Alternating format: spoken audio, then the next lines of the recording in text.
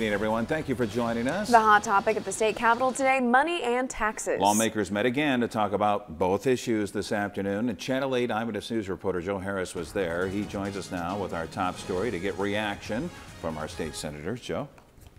Thank you, Rod and Megan. And if you remember, Senator Linehan's property tax bill ran into a lot of opposition yesterday.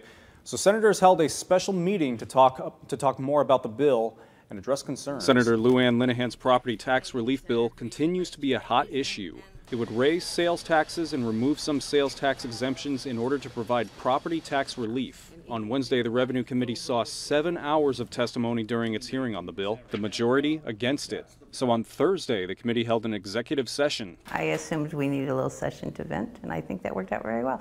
Linehan says she wasn't surprised by the wave of opposition the night before, but that there wasn't enough testimony from supporters, like farmers and homeowners. We don't have very many people who are looking at their property tax bill trying to figure out how they're going to stay in their house.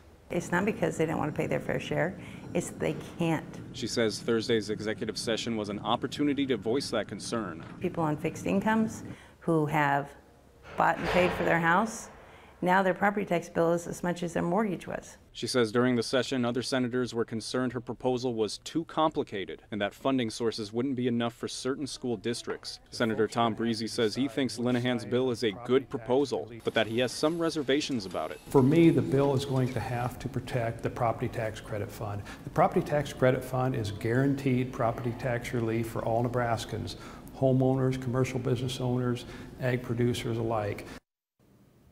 Now, Senator Linehan says they're holding another executive session on this bill tomorrow morning.